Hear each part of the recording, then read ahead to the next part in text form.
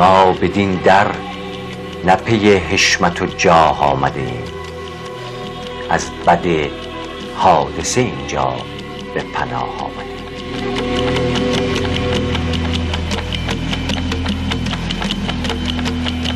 رهرو منزل عشقیم و ز سرحد عدم تا به اقلیم وجود این همه راه آمدیم کوچ ایرانیان. ولی اونایی که از درخت جواهر انقلاب اسلامی سود بردن به این آسونی از پای درخت بلند نمیشن. این درخت جواهره مروایی داشت میز باشن یه خود دورتر بیستیم. یه ذره بریم عقبتر. درسته؟ ایران پیشتاز شد تو منطقه. ولی در تحلیل نهایی این زایمانی است که داره دنیای اسلام می‌کنه. برای ورود به مدرنیته. دیر و زود داره سوخت و سوز نداره. این زایمان ببینید هنوز دردناکه هنوز داعش توش متولد میشه. با درود فراوان به شما. تماشاگر برنامه کوچه ایرانیان هستید. این هفته مصادف است با سی و ششمین سالگرد انقلاب اسلامی که در جای خود عامل این کوچه اجباری شده است. هدف ما در این روزها بررسی عوامل این دگرگونی یعنی بگذارید بگویم دگرگونی ناخواسته است. زیرا ملتی علاوه بر اینکه بیش از 100 سال است که به دنبال عدالت و آزادی است به هر حال در طی 50 سال گذشته نیز از طرق مختلف به دنبال دستیابی به حاکمیت مردمی و آزادی های سیاسی بوده است. و این خواست ملت ایران هم چیز عجیب و غریبی نبود و نیست. زیرا جهان امروز دیگر حکومت استبدادی را بر نمیتابد. نه در کشور ما ایران بلکه حتی در کلیه کشورهای جهان سوم که بیشتر همجوار ما هم هستند بهار عربی نشانه کوچکی از این دگرگونی جهانی بود و هست. امروز ملت ها دیگر یک فرمانده غیر انتخابی را نمیپذیرند. چه برسد به ولایت فقها که یک سرشان هم به آسمان وصل است. به در طی این چند هفته که به عوامل دگرگونی در ایران پرداخته ایم نتایج بسیار مثبتی هم حاصل شده است. اصولا در این دوران ما شاهد تحلیل های واقع بینانه می شویم که مثلا ده سال پیش آن را شاهد نبودیم. برنامه های تلویزیونی و رادیوهای خارج از کشور اکثرا بسیار موشکافانه و بدون پرده علل فروپاشی رژیم گذشته را بررسی می کنند. شاید این به دلیل این است که گذشت 36 سال با دستیابی به منابع جدید اطلاعات طبقه بندی شده کشورهای زینف در دگرگونی ایران فیلتر سی ساله مقابل چشم ما را دگرگون و پاکسازی کرده است. در ارتباط با برنامه های کوچ در طی این چند هفته اخیر تلفن ها و ایمیل های فراوانی را دریافت کردیم که همه آنها این رشد سیاسی حاکم شده در جامعه را تایید می کند حتی از داخل کشور شاهد نگاه واقع بینانه هموطنان خودمان هستیم. ارائه دیدگاه آقای دکتر امیر اسلان افشار در این رابطه خیلی موثر بوده است. نگاه آقای محسن سازگارانی است که با دید تاریخی به این دگرگونی می‌پردازند مورد توجه فراوان قرار گرفته. باید در نظر گرفت که روشنفکران ما که اکثرا از روی وطن پرستی به دنبال مردم سالاری بودند هرچه در توان خود داشتن به کار گرفتن.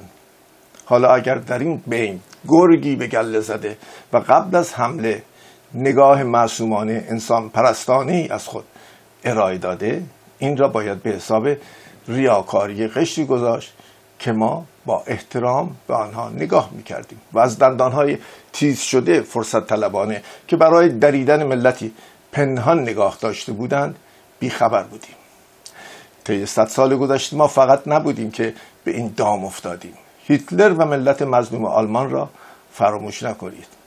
استالین و ملت نگونبخت روسیه را نمی‌توان جدا از این گرگ صفتی رهبران حاکم در طی این صد سال دانست. هزار و یک اشتباه رخ می‌دهد تا فضایی برای دریدن ملتی تولید می شود بگذارید امروز به پاریس برویم به مقر ساختمان یونسکو و بنشینیم پای صحبت جامعه شناسی که دگرگونی ایران را شاهد بوده است. دکتر احسان نراقی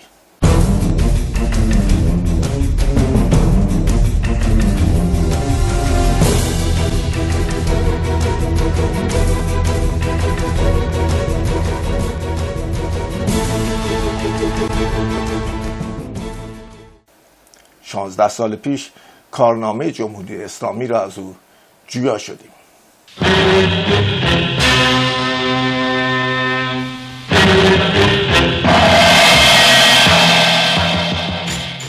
آقای احسان نواقی خوشحالم که در پاریس در ساختمان یونسکو خدمت می‌رسم.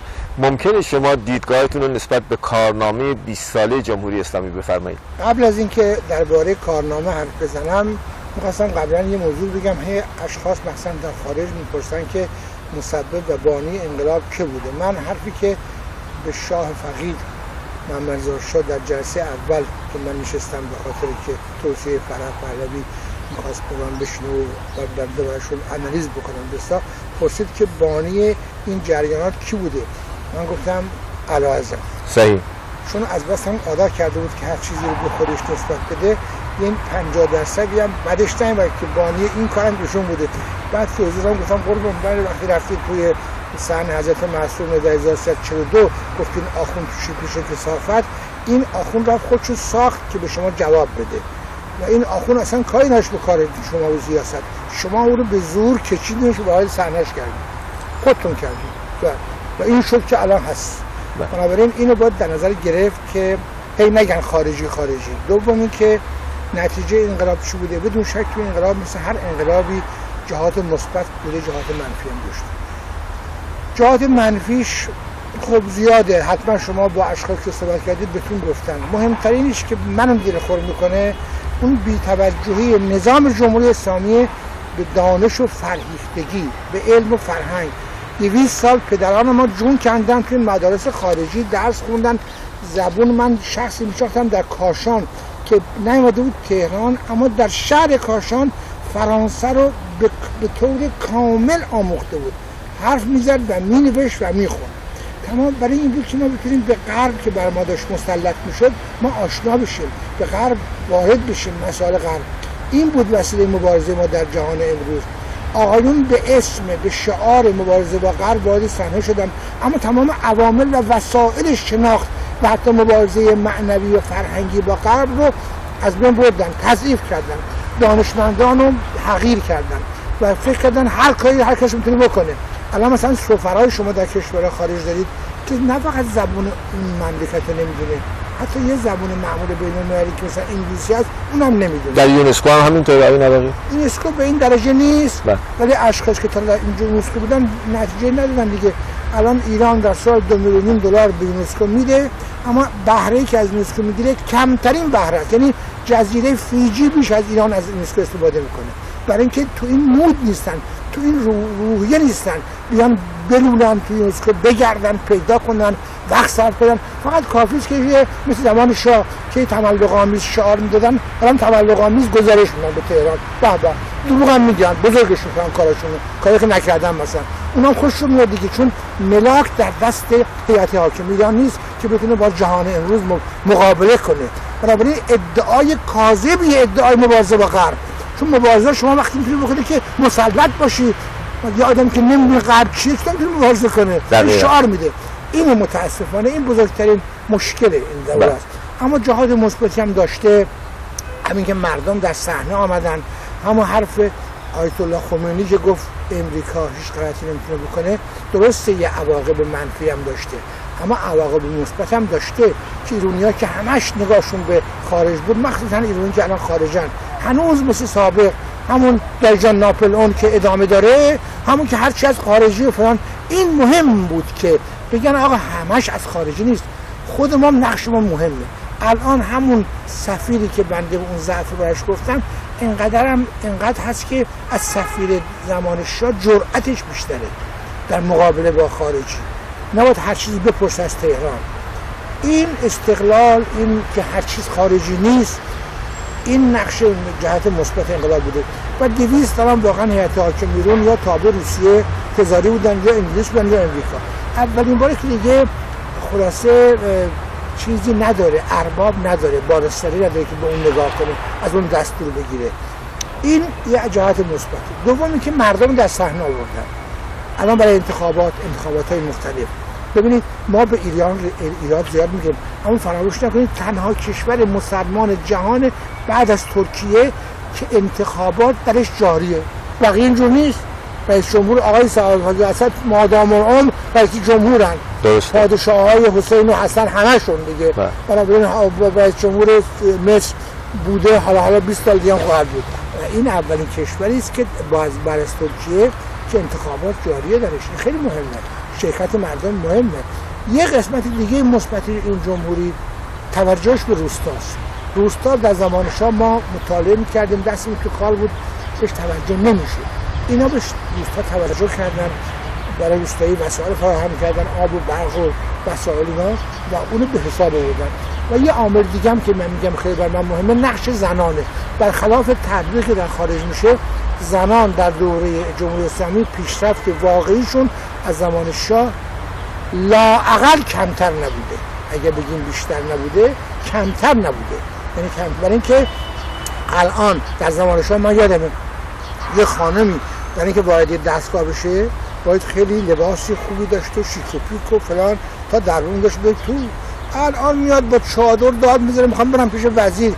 وزیرم اگه نبینتش اون روز معاون وزیر مدیر کل وزارت خونه میبینتش این شخصیت رو زن پیدا کرده جرأت رو پیدا کرده و به همین جهت هم در آموزش می‌بینید که الان تعداد دخترای دانش آموز در تهران شش متوسط پارسال از پسرها بیشتر.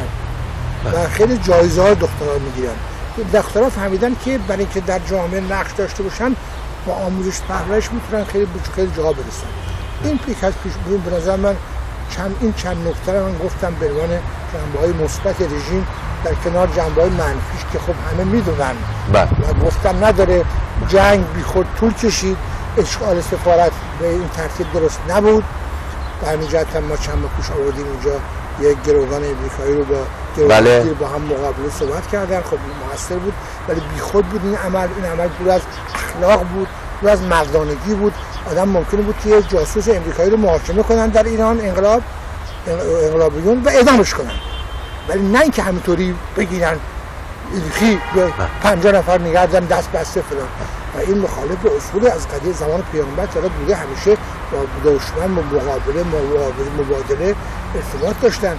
شما هم ندارید که چطور الان وقتی که یه مجاهد میاد یک کیلومتری سفارت ایران اعلامیه پخش می‌کنه فورا صفحه تلفن می‌کنه. آقا طبق کنوانسیون وین بیا جوشو بگیرید. برای یه آدمی که از یک کیلومتری حرف می‌زنه چطور این کنوانسیون وین ما زیر پا گذاشتیم در زمانه که بعدم امر دولتیش کردیم. کافی بود همون دو سه هفته اول بنده به آقایون گفتم بگید آقا این قلیان مردم بوده جور جوانا بوده ما نمی‌تونیم با, با, با زد و خورده با خونریزی اینا رو بیرون کنیم از سفارت شما هم توجه کنید به مقدور از خواستای اینا ولی این کار نکردن. بله. کار بدی کردن اثر بدی گذاشت در تاریخ و این مثلا جنگ هم تقریبا تا حدی ادامه همون اشغال سفارت بود دیگه. درسته. برای که تضعیف کرد. ما رو در دنیا دشمن زیاد پیدا کردیم. حالا خوشبختانه با آمدن آقای خاتمی یه امیدی هست. ولی اونایی که از درخت جواهر انقلاب اسلامی سود بردن به این آسونی از پای درخت بلند نمیشن. این درخت جواهره مروایی داشت میز پایین. چطور باشن باشن یه مرتبه به گفته آقای خاتمی نمیرن. بنابراین باید مبارزه کرد. آقایون هم در خارج باید متوجه موضوع باشن. وقت می‌گیره زمان می‌خواد. یه یک شبه نمیشه. وقتی که اومدن بالاخره برای این آدم مسلمان مؤمن کم فرهنگ آخون کلیددار بهشته. خب نمی‌تونه حرفش نشنوه دیگه. میگه بعدا میرم تو اون دنیا میرم جهنم. این زمان می‌خواد تا بفهمه نه آقا این ربطی به سیاست نداره. چه چه چه. و این پروسیس که الان در ایران شروع شده تحول فکری ایجاد شده خود روحانیون روشنفکر عدهشون باید زیاد میشه. وجود همین آقای خاتمی خیلی جالبه. درسته که ضعیفه درسته که میشه بهش گفت لیدر مخالفین در ایران. ایشون الان در اون لیدر مخالفینه. در حاکم اون برد ایشون برای خب همینقدر که می‌تونه یه کارایی رو بکنه بیاد در سازمان ملل حرف بزنه ولی اون که بلافاصله در ایران برمیگرده نفیش می‌کنه از طرف سلمان رشدی.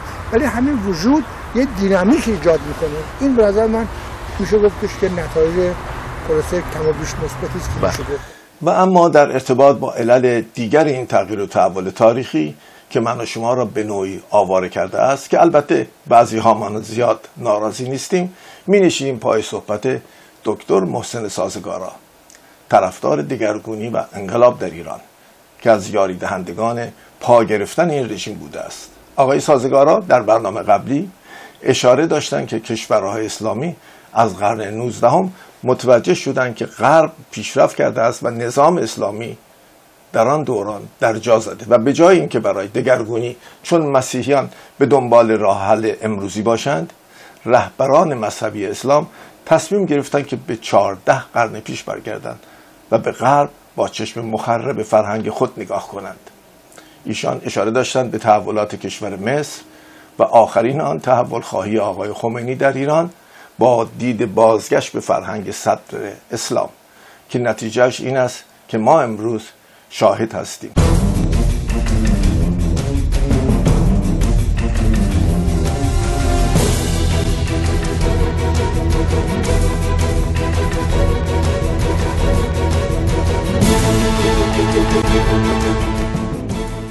و متاسفانه دیگر من و شما را در آن خانه جایی نیست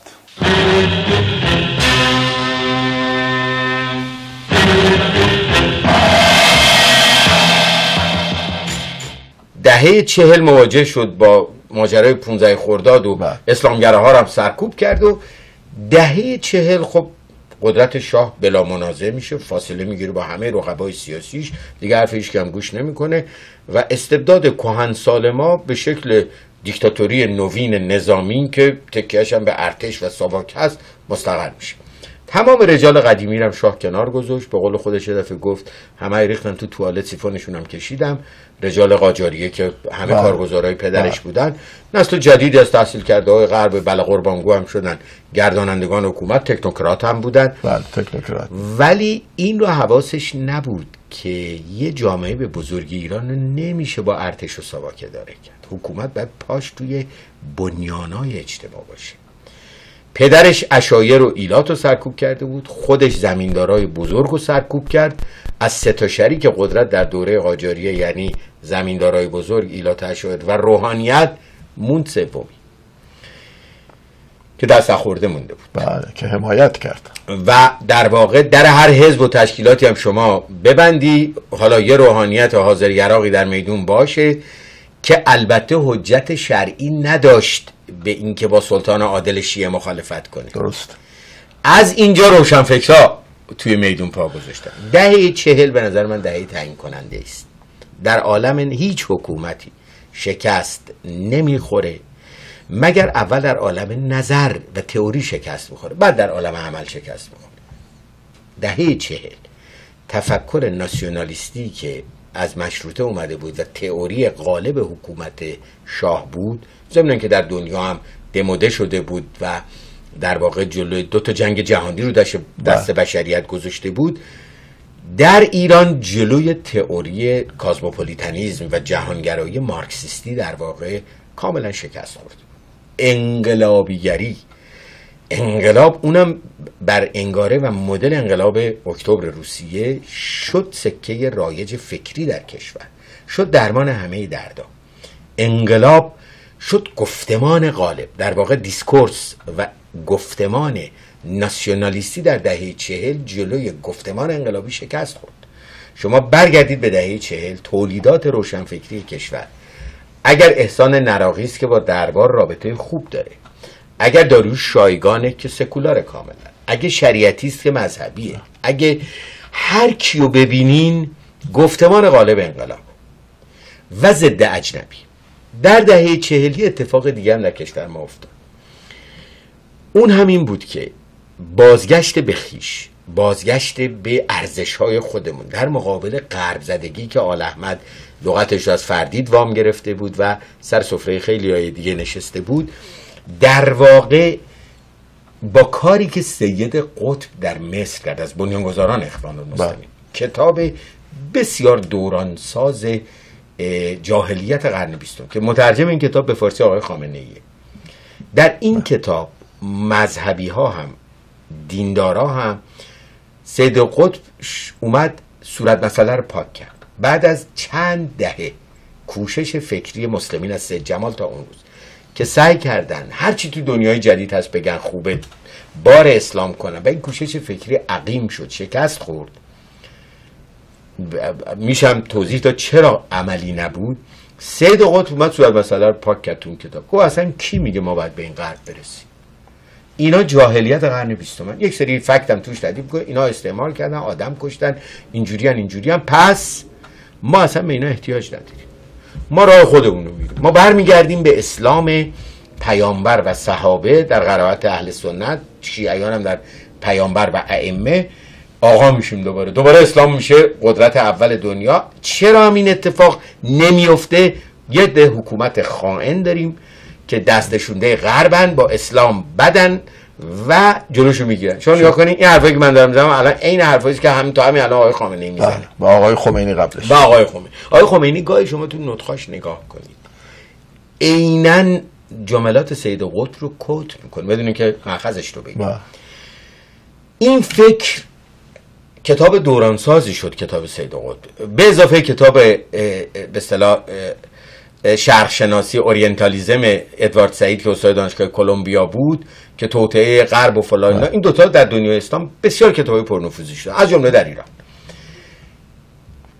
شما با آثار شریعتی که به حق به عنوان معلم انقلاب مطرحه الان رجوع بکنید در واقع شریعتی دو کار می‌کنه. یکی این که مارکسیزم که در واقع ادبیات انقلابی مال مارکسیستا بود. تجربیات زیاد کتاب. زیاد. و سر سفره اونا ما میشستیم مسلمان که انقلاب نکرده بودن مارکسیستا 100 سال سابقه انقلابیگری داشتن و تو ایران هم نسل روشنفکرایی که از پشت حزب بله. توده مونده بود از زمان مشروطه گفتمان غالب بود انتشاراتی ها کتاب فروشی ها. روزنامه نگارهای. قوی همه بله. چپ و چپ یا ادبیات جهانی داشت کاری که شریعتی می‌کنه در آثارش یک بخش آثار چپ رو می‌گیره در واقع لباس اسلامی تنش می‌کنه شما به اسلام شناس درس اسلام شناسی شریعتی رجوع کنید که شاید مهمترین بخش کار فکریشه. یک نگاشت یک به یک با مارکسیسم برقرار می‌کنه. میگه اینا جهانبینی دارن. ماتریالیسم دیالکتیک ما هم داریم اینه. ماتریال بینش فلسفه تاریخ دارن ماتریالیسم تاریخی ما داریم اینه. اینه و یک مکتب می‌سازه درست رو مدل مارکسیستا. جای پرولتاریا می‌ذاره مستضعف جای امپریالیسم می‌ذاره استکبار و بنابراین انقلابیگری میراسی که از چپ مونده بود و شد گفتمان غالب در دهه چهل و آرزوی ملت انقدر این فکر قوی شد که خود اعلیحضرت همایونی محمد بله. رضا شاه پهلوی هم اصلاحاتش رو می‌ذاره انقلاب سفید بله. و اصرار داره تو کتابش که انقلاب واقعی منم. از بالا یعنی انقلابی که از بله بالا. ولی معتقد انقلاب خیلی چیز خوبیه. یعنی یه ملت به این باور می‌رسه به دلیل نخبگان جامعه که درمان همه درداش انقلاب. بله موقعی که رئیس کشور خودش انقلاب کرده دیگه همه انقلاب بعد شاه نه اینکه سر تئوری ناسیونالیستی نشسته بود. چون با کودتا 28 مرداد اومده سر کار. برای مخالفین خیلی ساده بود که ازش مشروعیت زدایی کنن. هرگز هم بعد از 28 مرداد مخالفینش نذاشتن. این شکاف پرشه همیشه به رخش کشیدن که تو بیخود داری میگی من ناسیونالیستم ایرانیم. تو با کودتای خارجی اومدی سر کار. بنابراین حس ناسیونالیستی هم بهش اضافه شد. بحث استقلال ایران ما وابسته ما. تفکر بازگشت به اسلام نخستین که در همه دنیای اسلام هم بود هنوزم شما می‌بینید این تفکر زایش داره. داعش از توش میاد بیرون.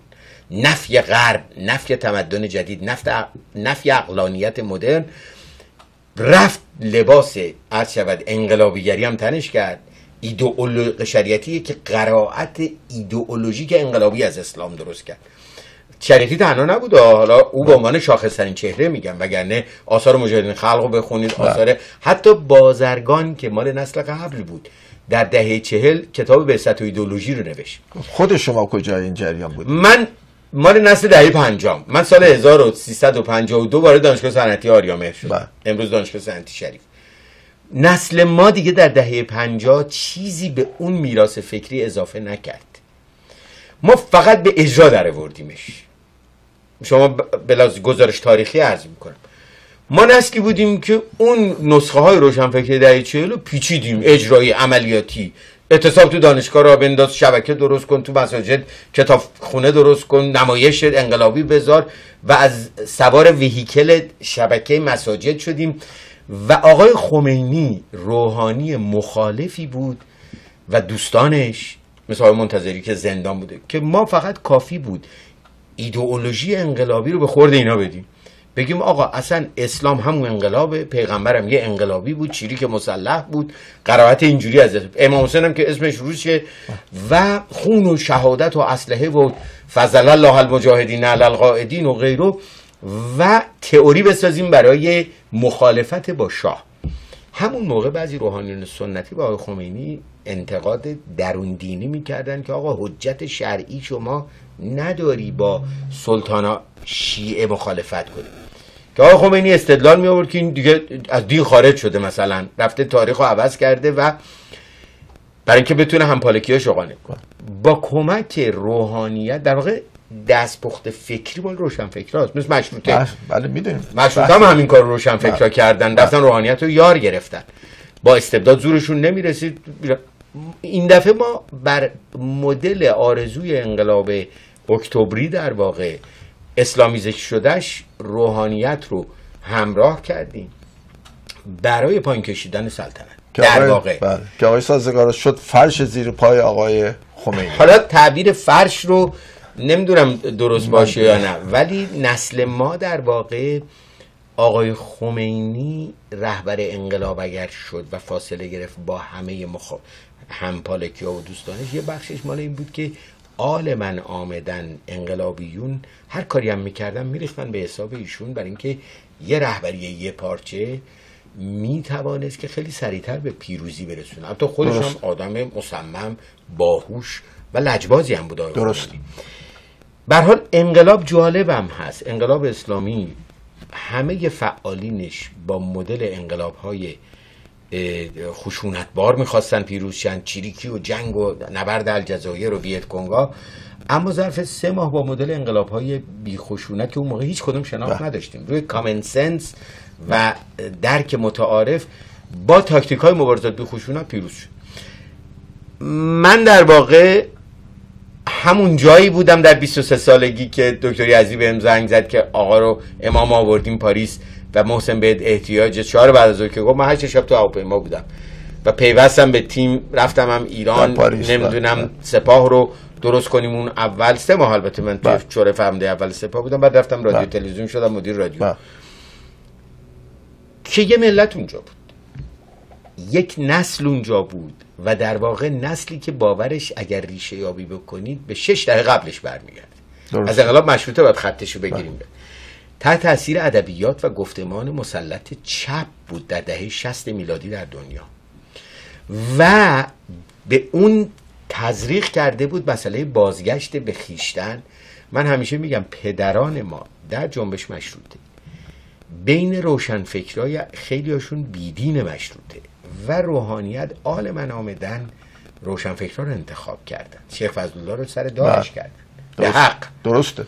ولی در دهه چه ما ما که میگم من بله. حالا درسته جزء روشنفکرهای دهه بله. چهل نبودم ولی نسلی که به مام خط شد از قبل بازگشت به خیش بازگشت به طبقات سنتی قهوهچی درشکچی روستا غم غربت نمی‌دونم ماشینیزم و اینا همه طبقات سنتی رو آب کشیدیم از جمله روحانیت رو یعنی در دهه پنجاه دیگه نه فقط مشکلی نداشت بلکه مد روز بود که شما با مثلا دانشجو باشی با یه روحانی هم رفیق باشی و با او هشت و نشت داشته باشی. بله. به این ترتیب در واقع روحانیت اومد به میدون. فردای پیروزی انقلابم ارزم تموم کنم در دهه اول انقلاب که تقریبا مقارن از غیر از دو سه سال اول با هشت سالش دولت دولت آقای مهندس موسوی بود به نظر من. تمام نسخه های روشنفکری دهه چه رو ما پیچیدیم. یعنی اگه خودکفایی سنتی بود کردیم اگه ضد امپریالیزم آمریکا بود سفارتشو گرفتن نسل ما نمی‌دونم یه دیوار قیامت کشتیم. اگه سوسیالیست مزاجی بود ملی کردیم. اگه بازگشت به روستا بود جهات هر نسخه ای هم فکر می‌کردیم که روشنفکری تجویز شده بود آثارشو برگردیم اجرا شد. بازگشت به اسلام بود احکام اسلامی در مشروع فروشی ببند غیر این چیزا که علما بلد بودن. حاصلش هم فاجعه شد. خب حاصلش هم در واقع تئوری در انتهای دهه اول انقلاب یک شکست همه جانبه خورد. و به همین دلیل هم هست که نه پشت به مدرنیته جواب داد. به هم دلیلم از دهه هفتاد متفکرینی پیدا شدن تو جامعه ما که این مخروط رو برعکسش کردن آروم آروم گفتن آقا اصلا کی میگه ما باید نفی غرب بکنیم؟ عقل مدرن دستاورد بشری است که باید ما بذاریم در محور کارون دین رو بریم اصلاح کنیم که مدرنیته بتونه بیاد. انقل... قرائت ایدئولوژیک و انقلابی از دین یه قرائت شاز و خشنی است که دین رو بیشتر از همه خراب می‌کنه. این قرائت رو تبدیل کن به قرائت عارفانه که پیشینه داره در فرهنگمون و اینطوری در واقع خیلی از کسا در نسل من عوض شده. من خودم تو پراتیک صنعت تو اجرای صنعتی مثلا دیدم همه اون حرفای سوسیالیست مزاجی و اقتصاد دولت سالار بله. کار نمی‌کنه. بله. و طرفدار در واقع اقتصاد لیبرال و بازار محور شدم و ها کذا به حال تمام این فعالیت ها همونطور که عرض کردم شد فرش زیر پای آقای خمینی و نبردوانی برای بالا رفتن و به ایشون حکومت بالا نرفت. در بله. واقع روحانیت چیزی که روشنفکرها فکرشو نمی‌کردن که این دفعه اگر روحانیت رو یار بگیرن مثل مشروطه یا مثل نهضت نفت درسته. نفت هم همین اتفاق بله. افتاد اه، این دفعه حکومت چون اسمش دینیه اسلامیه و شبکه حاضر آماده روحانیت داره بعد همه روشنفکرها هم سر می‌بره بله در عمل هم شدیم بله. و آقای خمینی منتها تو خود روحانیت هم تئوری ولایت فقیه ضعفای اساسی داره اشکال پیدا شد با یه دست در واقع تمام شرکایی که در انقلاب بودن اول چپیا ملیا اینا رو همه رو ضد سلطنت اول سلطنتی ها سربریده بله. شدن. بعد شرکای غیر مسلمون سربریده شدن. بعد رسید به خود مسلمون ها روشنفکرها کنار زده شدن. روحانیت هم بعد توش اختلافات بروز کرد. برای اینکه اون تئوری نمی‌شد کار کنه آقای خمینی مرجع کشی رو ایشون باب کرد. آقای شریعت مداری و درسته. روحانی و درسته. شیرازی و. قومی و اینا در اصل ایشون سرکوب شد. ما امروز به اینجا رسیدیم. بله ببینید این پدیده به نظر من یه خود دورتر بیستیم. یه ذره بریم عقبتر. درسته؟ ایران پیشتاز شد تو منطقه. ولی در تحلیل نهایی این زایمانی است که داره دنیای اسلام می‌کنه برای ورود به مدرنیته. دیر و زود داره سوخت و سوز نداره. این زایمان ببینید هنوز دردناکه هنوز داعش از توش متولد میشه. طالبان. متولد. اخوان المسلمین مصر رو هیچکی باور نمی‌کرد. بعد از 80 سال حزب اینقدر احمق باشه. بله. هنوز اردوغان بعد از 60 سال سکولاریسم در ترکیه داره میره به سمتی که برش گردونه. این ماجرا این زایمان. این زایمان در واقع به نظر من هنوز سرش به بالین آسایش نرفته. شخصا خودم نه به دلیل اینکه ایرانی هم اینو بگم. ولی واقعا بیطرفانه بگم. به نظر من ما ایرانی ها همجوری که در بازگشت به خیش و انقلاب اسلامی کردن در منطقه پیشتاز شدیم و حاصلش البته آزاد شدن خیلی نیروهای فاندامنتالیست بود فکر می‌کنم در عبور از این تعریف یه قرائت اقلانی از اسلام و راه رو بر مدرنیته باز کرد و لیبرال کردن هم با جنبش سبز دیده شد که جلو افتادیم از همه. بله. و اولین بار بود که در تاریخ ما مردم به جای تکلیف شرعی و تکلیفی که دعوت روحانیت بر اساس یک حق مدنی بله. که رأی منو پس بده میلیون ها نفر من تو خیابون. یک قدم. و زیر پوست جامعه ما یک جنبش تمام ایار دموکراسی خواهانه و حق مدارانه به نظر من در جریانه که فکر می‌کنم دیر و زود داره ولی سوخت و سوز نداره. این نوزاد خجسته متولد شده در کشور ما. سر برمیاره و فکر می‌کنم موج دومی که ایرانی ها بتونن آزاد بکنن دوباره منطقه رو به زلزله خواهد انداخت و راه رو برای حل مشکل دنیا اسلام باز خواهد. امیدواریم. آقای سازگر من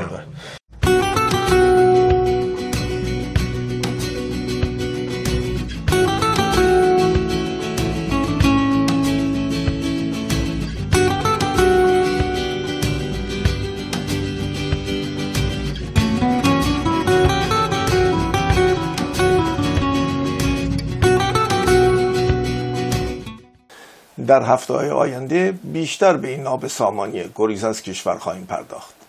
با ما باشید.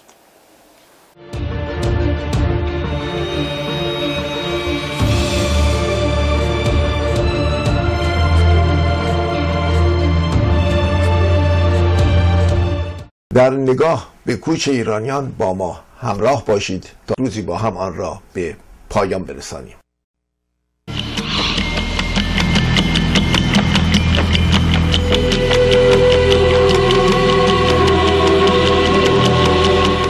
و ما در قربت همچنان دوره می کنیم شب را و روز را هنوز را.